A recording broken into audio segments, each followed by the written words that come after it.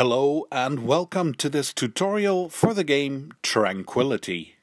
You can also play this solo, but I'll be explaining the game as it goes with multiple players.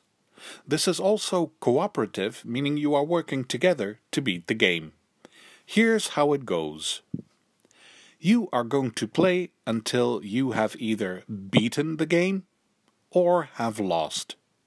The goal is to have a card that says start here at the bottom left and a card that says finish at the top right and have every single space in between filled up by a card with numbers going from low to high. If you manage to do that before you run out of cards, you all win the game. If you don't, you have all lost. So again, try to go from start to finish and all the cards in between go from a low number to a high number. You place the cards from left to right, from bottom to top. And you will be doing all of this without speaking. You are not allowed to talk to each other while you play the game. Next, what do you do when it's your turn? When it's your turn, you should first check if you have five cards in your hand. You start every turn holding five cards. Then you can do one thing, and you have two options to choose from. The first thing you can do when it's your turn is discard exactly two cards and take two new cards from your own deck. When you discard cards, you must place them face down on your own discard pile. Keep them apart so you don't get confused over which one is which. So again, when it's your turn, you can discard exactly two cards. No more, no less.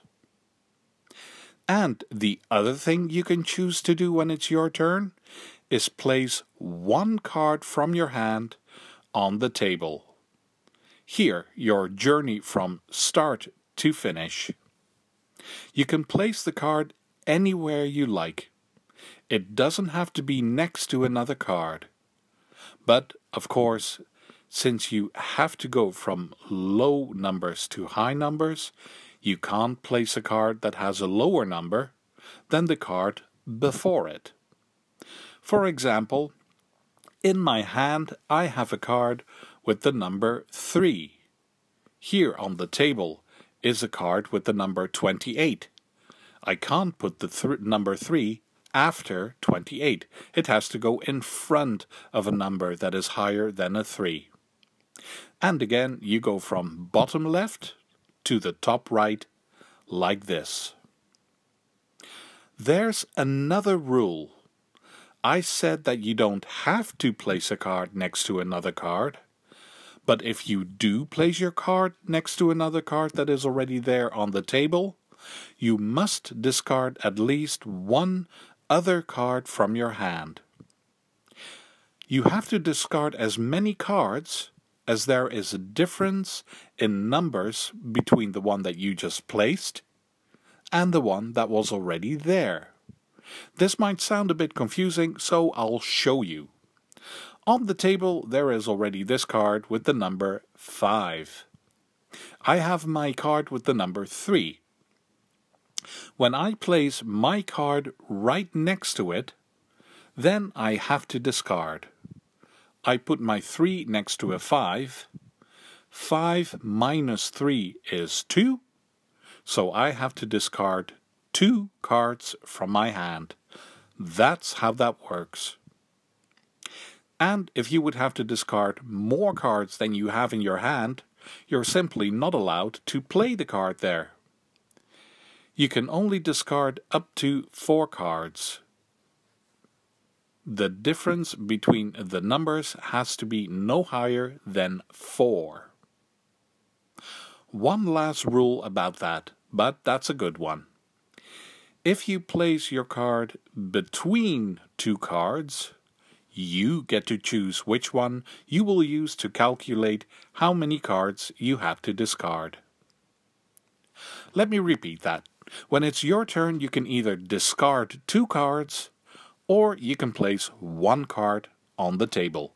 If you place it next to another card, you have to calculate how many cards you have to discard. At the end of your turn, you always refill your hand back up to five cards. Two more things, and then we're done. You may only place the card that says finish up here when the card that says start has already been placed or when every single other space on the table has been filled up. So you can't place the finish card anytime you want. And the last thing about the card that says start. As soon as one player gets the start card in hand, that player must put that card on the table when it's her or his turn. You must place it as soon as you have it and it's your turn. You can't place another card first, and you can't choose to discard two cards. And then something happens. There's a little break in the game. As soon as someone puts the start card on the table, you have to discard eight cards as a group. So not eight cards per player, that's impossible because you only have five cards in your hand. You have to discard eight cards together. For example, player 1 discards 3 cards, player 2 discards 3 cards, and player 3 discards 2 cards. That's 8 in total, and that's it. Also, for this moment in the game, you're allowed to speak to each other again. You can't tell the other players which numbers you have in your hand, but you can discuss how many cards everyone is going to discard. As soon as you have discarded eight cards, the game continues and you can't talk anymore until the game is over. All this happens as soon as someone places the card that says Start and you lose the game when one player has no more cards to take. That's it. This is how you play Tranquility. It's easy to understand, but difficult to win. I hope you feel like you're ready to give it a first try and that you'll enjoy it. Thank you for watching this tutorial. Feel free to leave a comment and see you for the next one.